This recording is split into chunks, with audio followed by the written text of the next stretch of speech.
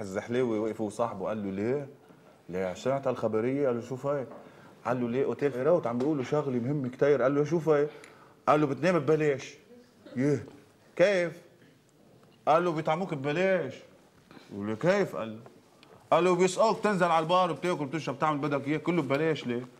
قال له بالله قال له إيه قال له انت وفالي كمان بيعطوك 3000 دولار قال له لا جربتها قال له لا أختي امبارح نزلت في بالبقاع شو قصة عمتك بسوريا؟ قلت لي خبرني قصة عن عمتك إيه. بسوريا إيه آه، خبرك بس هي تبع البقاع يلا ما- وراها عمتك آه، قالوا له ل للصديق قالوا له يا أخي آه، هيدي أمك عليها حرارة للصديق قال له قال له إيه وشو بدنا نعمل لها؟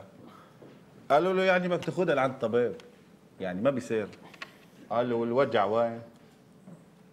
قالوا له ب-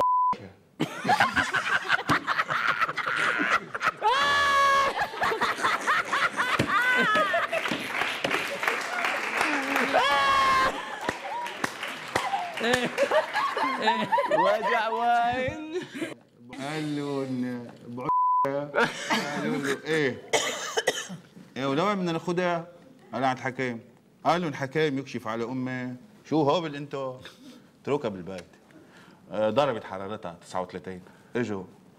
ولا يوم 39 امها قال لهم تصير 200 ما في واحد يكشف عليها ضربت 40 41 راحت.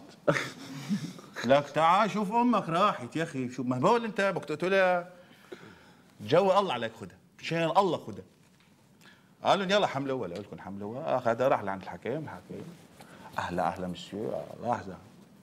قال له مدام تفضلي تلقحي لحظه قال له وين بدك تلقحها؟ قال له هون هون مين حضرتك؟ قال له أني ابنه ابنه طلع فيني هون ابنه أنا شو عم تقول لها تلقحي ما تلقحي؟ قال له المرة مش واعية يا حبيبي يعني المرة فارطة يي يي يي يي يي شو عم تدش بيسأل له تو وين رايح أنت يا أخي؟ شو لا قال لها مدام صحيتي شوي معي؟ قالت له إيه؟